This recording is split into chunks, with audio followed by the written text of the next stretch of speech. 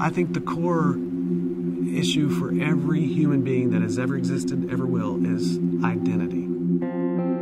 Great pleasure to introduce Dennis Jernigan. Most of you probably know of him if you don't know him already. One Sunday morning here the, at this church, the men were standing there talking about what they thought of homosexuals. And it was terrible the way they talked about guys like me. Homosexuals are going straight to hell. That's what I thought as a kid. So I remember feeling hopeless. I'd spend hours, always two to three hours a day at the piano. It was a refuge for me. I didn't know he would be as successful as he is, but I always knew how good he was. Is it cool to have so many people singing your songs, wanting to sing it's, your songs? It's overwhelming, it's, it's humbling, it is totally cool.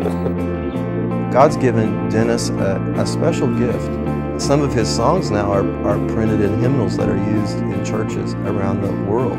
His music goes places that nobody else's does in my own soul and my own heart. I've only ever heard condemnation from the pulpit. People being like, homosexuality is an abomination, but not saying you can be set free. I've been going to man to find out what a man is supposed to be. When I, I needed to be going to my Creator all along for my true identity. After all, it's He who made me. Stands to reason He should be the one telling me who I am. Some people might not like it, but He's chosen to share a message that with God nothing is impossible, that God has the ability to change and transform.